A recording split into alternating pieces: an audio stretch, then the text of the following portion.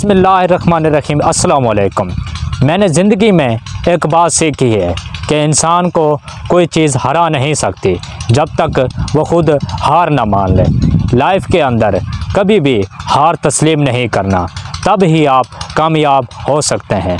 ज़िंदगी के अंदर अगर आप ज़िंदगी को, जो आपके मकासद हैं, उनको अगर आप अचीव करना चाहते हैं तो जहरी बात है। उनको अचीव करने से पहले आपको परेशानियाँ दरपेश आएँगी। आपको चैलेंजेस आएँगे, लेकिन आपने घबराना नहीं है। आपने कभी डिसाइड नहीं होना। तब ही आप अपने मकासद को, अपने जो आपके गोल हैं, तब ही आप उनको अचीव कर सकते हैं। अगर आप जो हासिल करने में जो आपको परेशानियाँ आएँगी, तकलीफ़ें आएँगी, लोगों की बातें सुननी पड़ेंगी, अगर आप उनकी बातों को चैलेंजेस को अगर आप एक्सेप्ट कर लेंगे। तो आप, जो आपके लाइफ के गोल हैं, जो आपके ज़िंदगी के मकासद हैं, उनको आप अचीव नहीं कर सकते।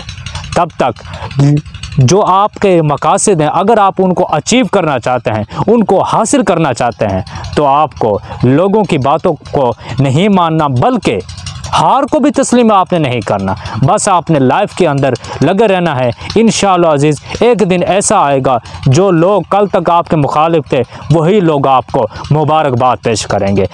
लेकिन आपने जो आपके ज़िंदगी के मकासद हैं, उनको अचीव करने में परेशानियाँ तो आएँगी चैलेंजेस तो आएँगे, लेकिन आपने हार एक्सेप्ट नहीं करनी।